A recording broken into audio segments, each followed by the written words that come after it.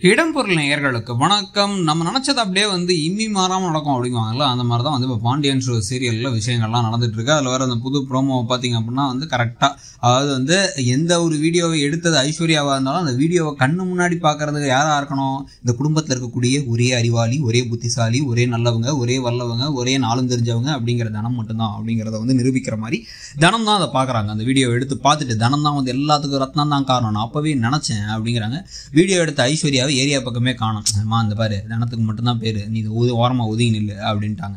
உடனே டபக்குன்னு என்னாச்சு அப்படின்னு பார்த்தீங்கன்னா அடுத்து கட் பண்ணி ஓப்பன் பண்ணோம் அப்படிங்கிற மாதிரி வந்து இந்த கதிர்கிட்ட கரெக்டாக சொல்லிட்டாங்க. நம்ம வந்து சொன்னோம்ல கதிரோட உதவியை எடுப்பாங்களா மாட்டாங்களா அப்படின்னு பார்த்தா அதே மாதிரி கதிரும் வந்து அவர் தான் அடித்து தரதா தரம் எடுத்து வர்றாரு. அடியால் மாதிரி யூஸ் பண்ணிப்பாங்க.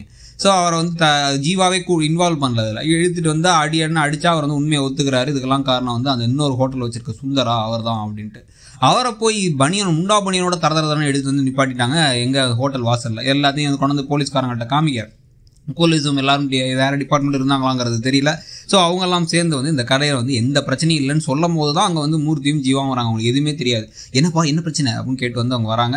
வந்ததுக்கப்புறமா கடையை வந்து ஹோட்டலை திருப்பி ஓப்பன் பண்ணிடலாம்னு சொன்னதுக்கு பிறகு அப்படியே மூர்த்தி நினச்சி பார்க்குறாரு. சவால் விட்ட மாதிரியே சாதிச்சிட்டா தனம் அப்படின்னு சொல்லிட்டு அப்படியே அவருக்கு புல் அரிக்குது. மற்றவங்கலாம் என்னடா தனம்னா சும்மாவா? அப்படின்னு சொல்லிட்டு கோஷம்லாம் போடுறதுக்கு ரெடி ஆகிட்டு இருக்காரு.